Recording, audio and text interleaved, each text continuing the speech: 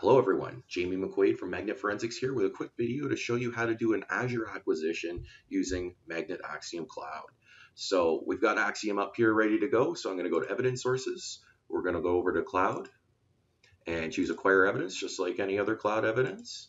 And now you can see you've got a huge list of uh, sources that we can grab, the platforms we can grab here, and Azure is right here, all alphabetical. Click on Azure, It'll ask you to sign in. Now, first, you need to have all this information. Requires a bit of prep work beforehand if you've never done it before.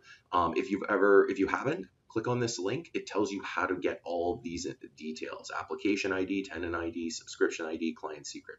All of those are required from either your Azure admin or, unfortunately, if you are the Azure admin, you have to get them yourself.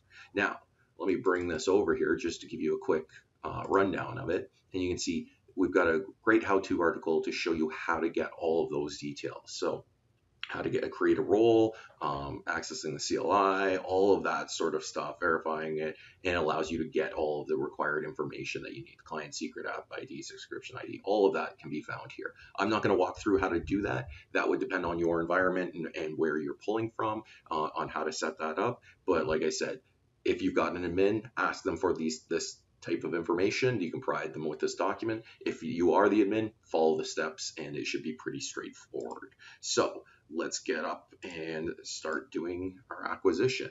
Now, I've already got this ready, so I'm going to pause the video and load in my, uh, my details here and hit sign in. So just one second.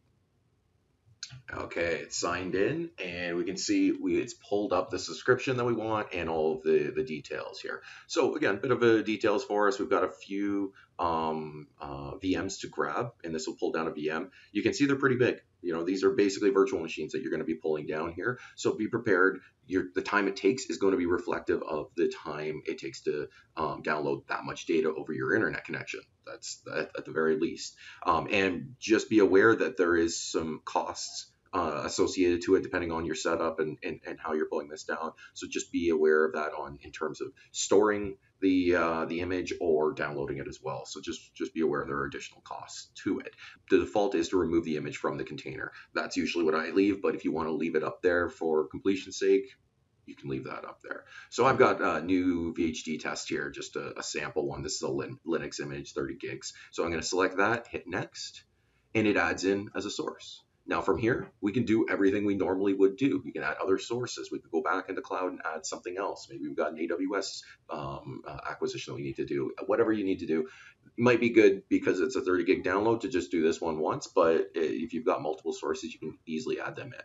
I'm not going to go through the other um, other items here. Uh, I'm just going to go down to cloud artifacts. You can see all cloud artifacts there, um, but obviously uh, we'd look for specific ones for uh, for that uh, VM hit go, analyze evidence, and it'll start acquiring that data. Like I said, this one's 30 gigs, so whatever it takes to download 30 gigs over my internet connection, that's probably how long it's going to take. Um, well, it's going to first create the data and then and then download it, and then um, I'm just going to pause the video here and uh, come back when it's finished.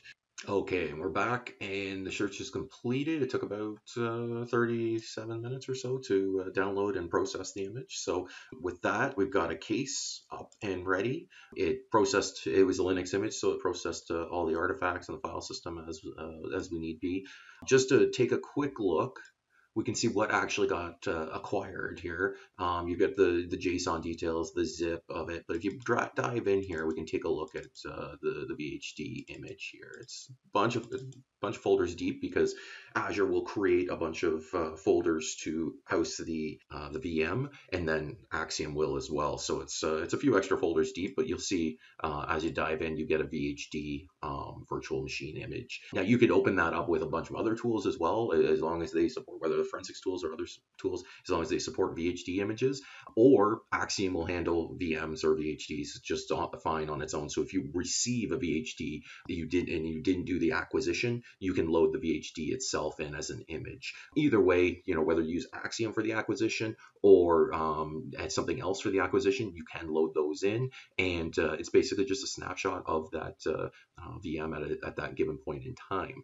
Uh, now on the cloud, it would have stored it and then deleted it as based on our settings. And at the end, you get uh, some basic uh, case summaries here, the VMs here, and we can go into the artifacts. You can see the the regular uh, artifacts that you would normally uh, get in uh, in whatever image that uh, we're looking at. Like I said, this one's not a, a, very large one. It was just a 30 gig sample image that I used, but you can see that uh, there are anything that's uh, that could be valuable there. So again, that's how you do an Azure acquisition with Axiom Cloud.